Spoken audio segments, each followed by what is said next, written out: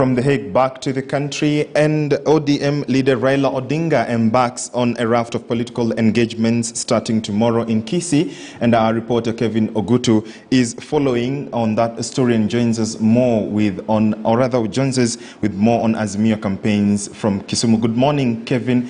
Good to speak to you. Uh, yesterday we did see, or rather the day even before yesterday, we did see the Azimio La Umoja pitch camp in Migori and other parts of that region. What do you expect tomorrow in Kisii?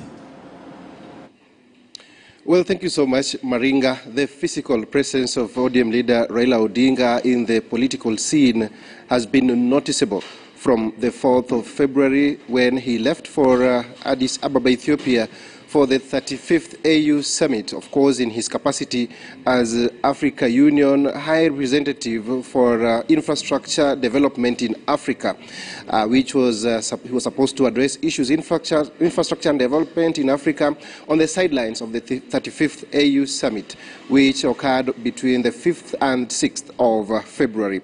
And of course, after that, he went straight to India and later on to Dubai, and he's back in the country. But in the meantime, uh, his presence, the void so created by his absence, was filled by the Azimio Mtaani campaign team, of course, led by Mombasa Governor Hassan Joho, who, together with the team, the likes of uh, Kieni Member of Parliament, Kanini Kega, Muranga Woman Representative Sabina Chege, and uh, the, uh, Junet uh, Mohammed, and every other uh, leader that they've been on the screens and on the papers, I mean, um, taking um, the campaign for Odinga presidential bid to, the, to, to uh, sustaining rather that momentum while he was uh, physically absent.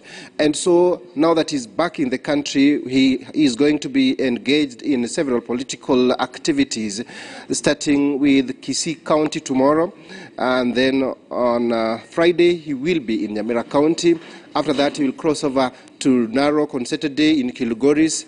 And after that, he will head straight to the coast where uh, he will be pitching tent there from uh, Sunday all the way to Tuesday, traversing Kwale, Mombasa, and Kilifi counties. While on the other hand, uh, the Azimio Mtaani uh, Azimio Mashinani rather, uh, campaign segment will be continuing uh, with their uh, parallel, but of course with the same agenda of uh, I mean, building up his support towards August 8, uh, August 9, rather, uh, general election.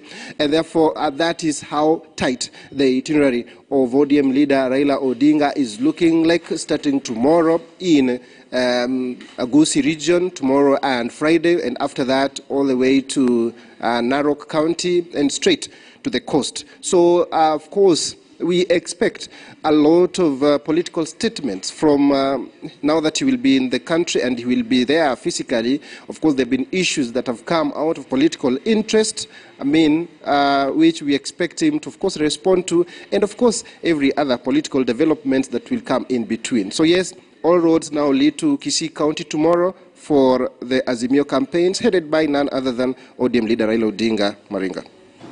Kevin Ogutu, many thanks for